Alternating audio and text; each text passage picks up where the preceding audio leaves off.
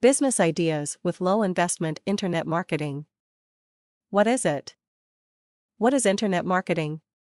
Internet marketing allows you to match potential customers to the products you are selling through the internet search engine. Internet marketing is a business idea that is a low cost investment and is a way to get a business started rather easily. The internet continues to grow tremendously every year, and more and more companies are turning to the internet to advertise and sell their products.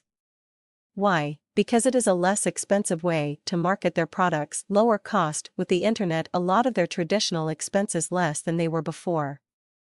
They don't have to hire many salesmen as they once did.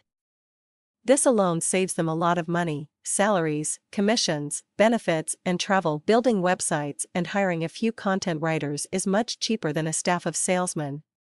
Web designers can design web pages around keywords that get higher ranking on Google, which will attract target traffic to the website. They will be able to measure the effect of the keywords being used and tweak them if the results are not there. These methods involve much less cost than what was used before more new businesses. Another booming factor, since it is a business with low investment, is the growth of home based businesses. This is a win-win situation for individual business owners and the companies producing the products.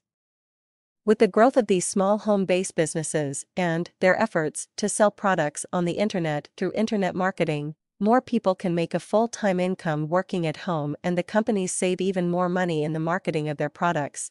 So what are you waiting for? Get involved in internet marketing.